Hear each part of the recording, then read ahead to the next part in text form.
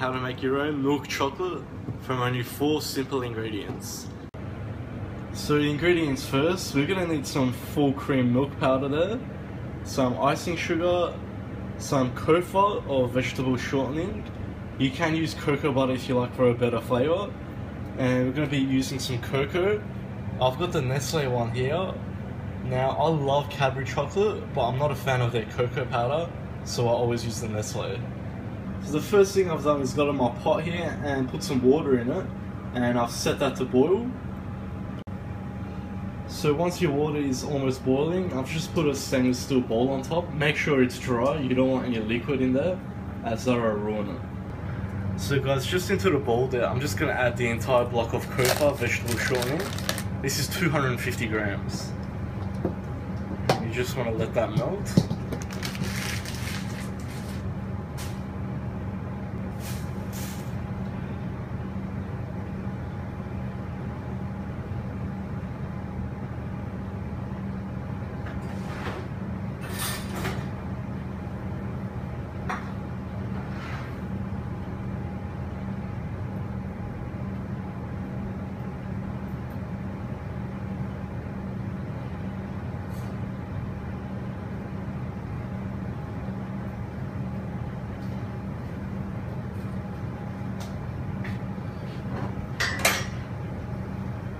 Okay, so that's melted away. So what I'm gonna do now is turn the heat to low so we don't burn that.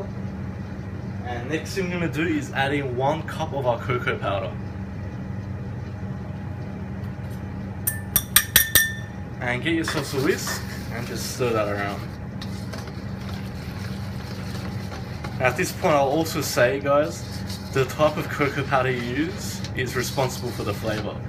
So don't go using a cheap one like the home brand or the Coles brand or the Woolies brand.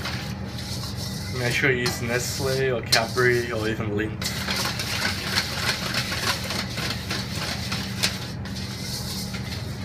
Okay, so that's looking good. So now we're gonna add in one cup of icing sugar.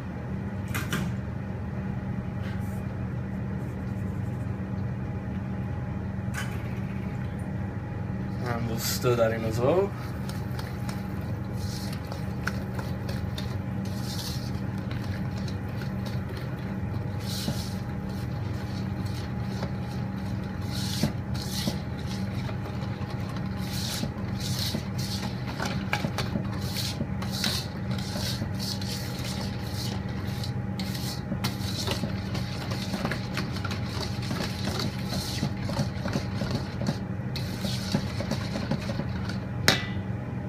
Okay, so what we basically have now is dark chocolate.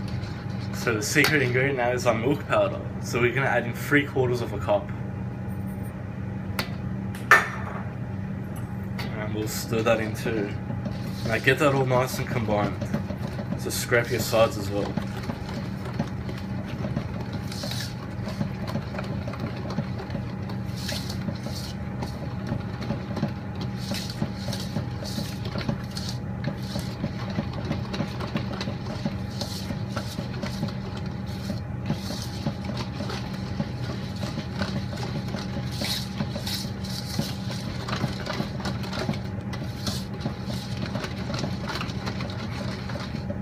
Okay guys, there we have it.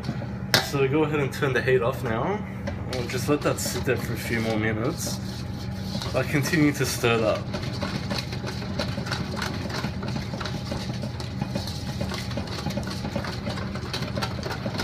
Okay, so unfortunately I don't have any of my chocolate molds with me right now.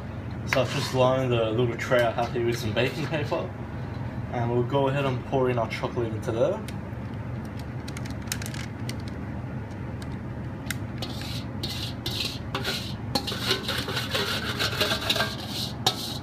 Get that all in there.